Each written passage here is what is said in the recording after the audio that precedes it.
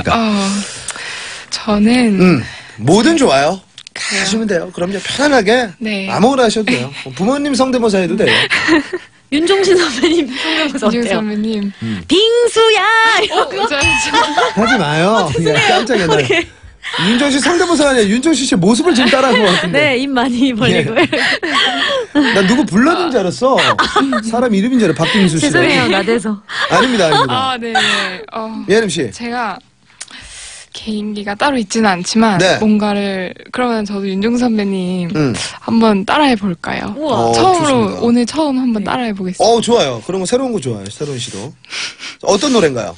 네? 어떤 노래? 아 그냥 평소 말투를 따라하려고. 평소 말투. 오, 네, 있어요. 기대- 기대 돼요. 그 특징 네네. 있어요, 윤종수 씨. 시작. 예림아 밥 먹었니?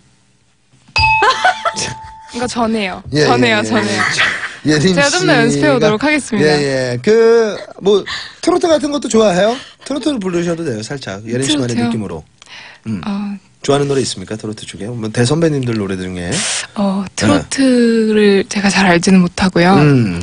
그러면 좋아하는 즐겨 부르는 노래나 살짝. 즐겨 한마디. 부르는 노래요. 예. 네. 저는 그러면 음. 음, 자, 편하시게 하셔도 돼요. 아니, 저는 예림 네. 씨 목소리 들으면서 네네.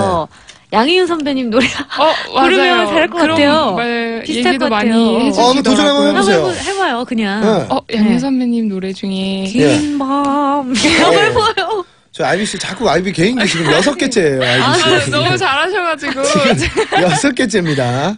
자, 한번 해보세요. 김밤 해보세요. 긴밤 치.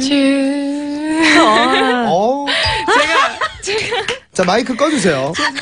예, 마, 지금 안 들리고요. 예림 씨는 잠시 후에 마이크